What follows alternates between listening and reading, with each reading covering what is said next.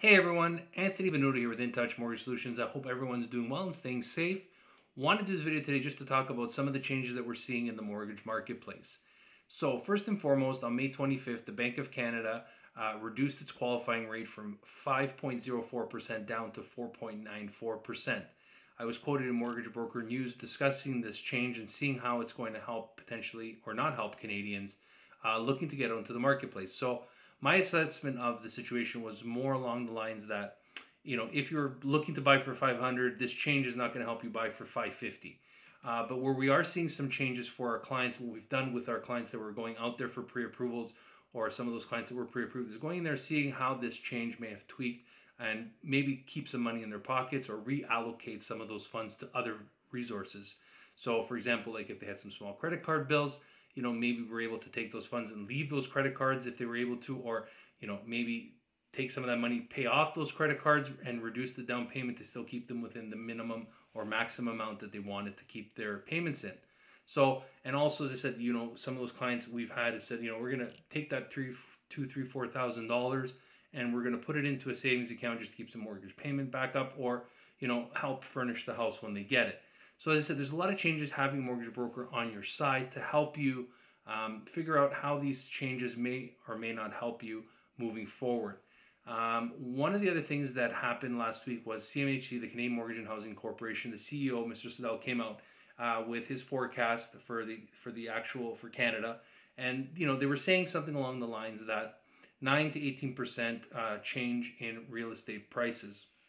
Now, although I don't like forecasting or making predictions on where we see the real estate market going, um, it is basically when questioned about it, he was saying, you know, like the weight of it's going to potentially be more along the lines in the prairies and the oil sector, uh, those provinces there, uh, with a softer impact to Toronto and Vancouver.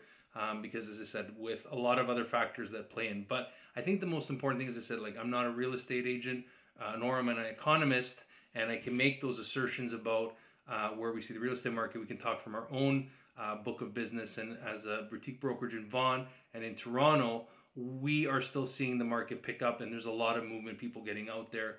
Um, because I said, like, with a lot of our clients that were on the on out there to go look at the beginning of the year, and this really didn't change them until they were able to go out there. Because I always use the analogy that if you need to buy a car, you know, maybe you're not going to buy the more expensive one maybe you'll settle for something a little bit less expensive, but the fact that you need a car means you have to go buy one. And it's the same with housing. Clients that were previously budgeting for a larger home to stretch themselves a little bit more are maybe pulling back a little bit. So that's that's the assessment that we've been making. But with that being said, CMHC came out and basically said due to the circumstances and to help protect Canadians that are going out there to buy with the minimum amount of down payment of 5%, they might be potentially eliminating the 5% down rule uh, which means the next logical basis or starting point would be 10%.